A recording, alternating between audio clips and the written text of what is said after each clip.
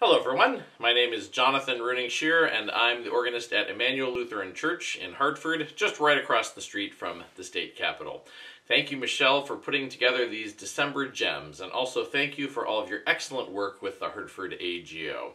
The organ I play at Emanuel is an Austin organ built in 1922. It has about 50 ranks. It was majorly revised in the 1970s, and then I just completed a large renovation in 2014. I say I, thanks to all the good people over at Austin Organ Service. It's a three manual organ that actually has four divisions. There's a digital fourth division that kind of floats across the positive. The piece that I'm going to play for you is a toccata on Veni Emmanuel by Andrew Carter, written in 1995.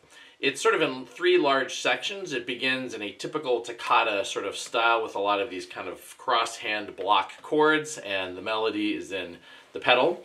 Then we go to a much more reflective section in the middle where there's still lots of sort of um, sort of flourishy handwork, but it's a much sort of softer texture and there's this kind of interesting canon that happens between a sort of melody in the right hand and the pedals.